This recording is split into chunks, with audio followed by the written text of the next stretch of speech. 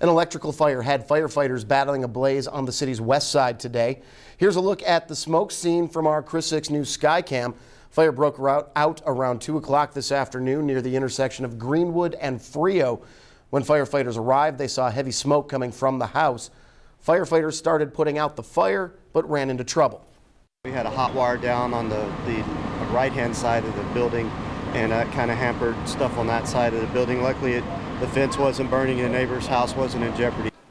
Once the line was de-energized, firefighters were able to get the fire out.